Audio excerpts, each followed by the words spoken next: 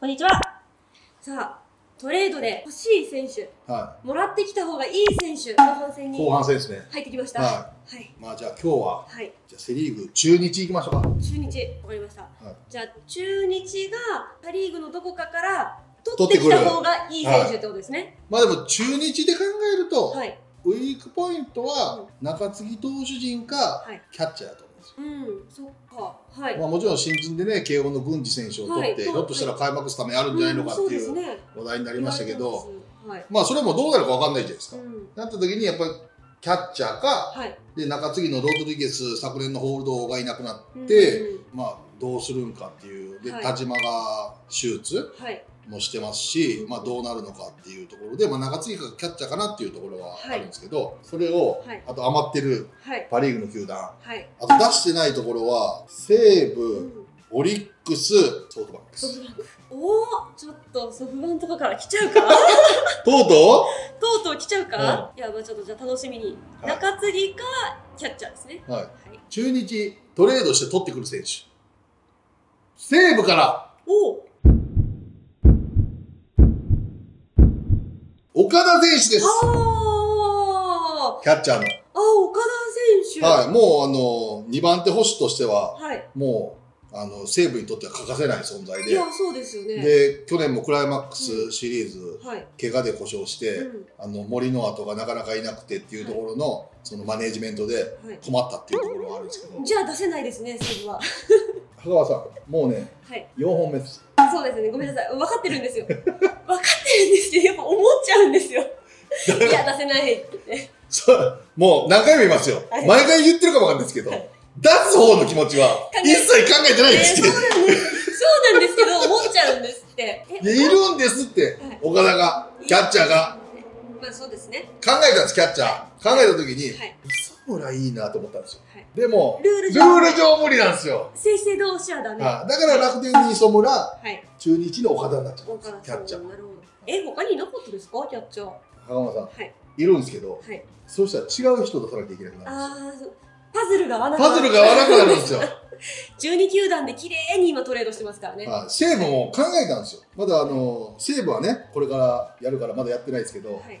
西武が足りないところとかを考えて、ここ選手出されへんだと。はい。ここはどうやと。うん。ちょっとあの、レギュラーと、レギュラーが逆にがっちり固まりすぎてても、うんレギュラーとベンチの差が開いちゃうんで、ああ、確かにそうですでね。開きすぎちゃうと、うんここの選手はい。取ってきても今すぐ使えないよねと。うんうんうん。ってなってくると、はい岡田なんですよ。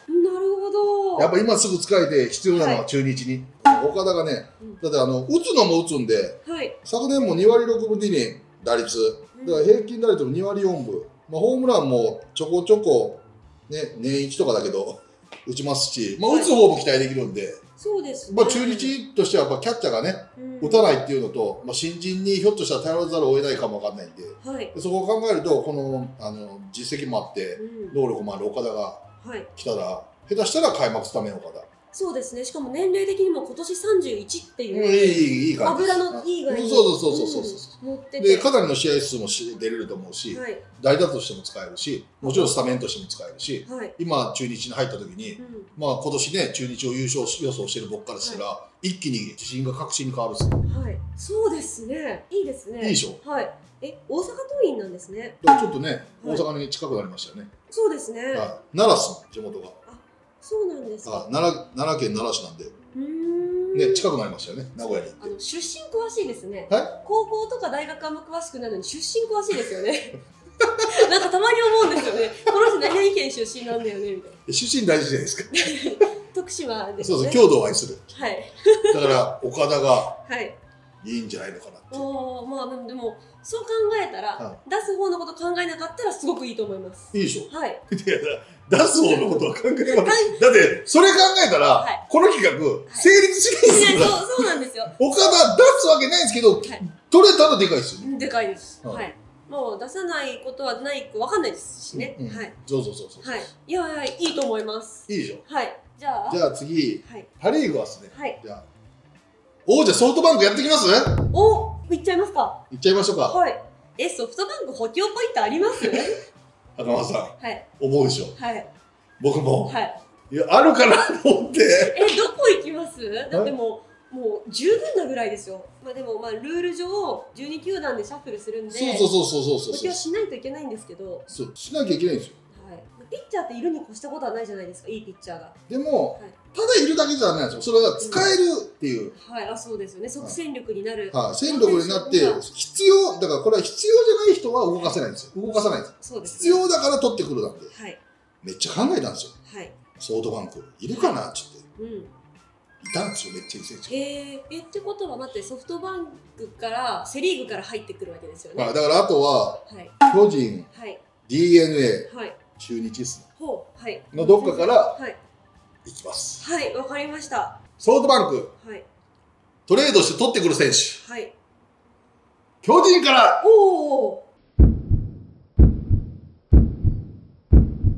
利根投手ですピッチャー行きましたやっぱり。ははい。い昨年はですねはい。9月に肘左肘のクリーニング手術したりして、はいうんまあ、終盤ちょっといなかったんですけど、まあでも26試合に登板して、うんあの防御率も1点台なんですよはい。で非常にいいピッチャーなんですよね、うんうん。でまあジャイアンからすジャイアンツからすると左の中継ぎで言えば中川去年良かった中川選手とか、うんであとは、はいあの高木京介はい。投手とかが中継ぎで回ってたんですけど、はいこの手利根選手もめちゃくちゃいいんですよじゃあソフトバンクに左の中継ぎいるんかって言った時にはい。まあ今加山とかうん。モイネロとかいるんですけどこうね利根がいるんですよソフトバンクには、いるんですね。うん、これはもうね絶対いるんですよでまあ安定的ではいしっかり抑えれるっていう能力も高いっていうところで、まああのソフトバンクにどうしても欲しいとー。はい。でそれなんでかっていうと、やうん。っぱ外国人問題が絡んでくるんですけど、はい。